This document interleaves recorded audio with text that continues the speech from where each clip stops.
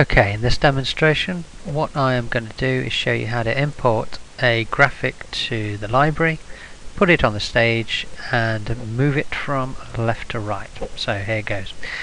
I've opened up Flash, it's a new file, so I go File and then Import to the library. I'm going to import a graphic from uh, the My Pictures folder, although in your case you ought to have a folder in your OCR Nationals Unit 20 folder. Um, I'm going to use this transparent E here.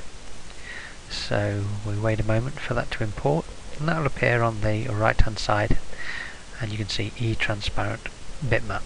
So I'm going to drag that over. First thing you'll realise, way too big for the stage. So if I right hand click, I can free transform that. And if I keep my finger on the shift key on the keyboard, I'll resize that so it's kept in proportion. I'm going to move that to the left corner so. Up here my graphic is on layer 1. Remember every graphic and sound file that you use in Flash ought to be on its own layer. So I'm going to call this eGraphic. Just double click on the label and edit the title of the label.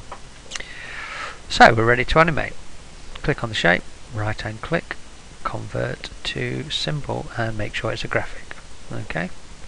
Now I've got 12 frames per second rate here so I'm going to do it over 3 seconds so 3 12s are 36 press F6 on the keyboard to insert a keyframe and I'm going to keep my finger on the shift key I'm going to drag that shape over to the right hand side so it's a nice smooth transfer like that.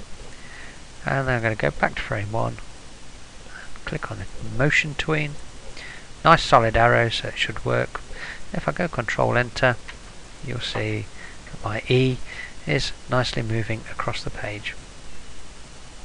So that's it, that's how you do it.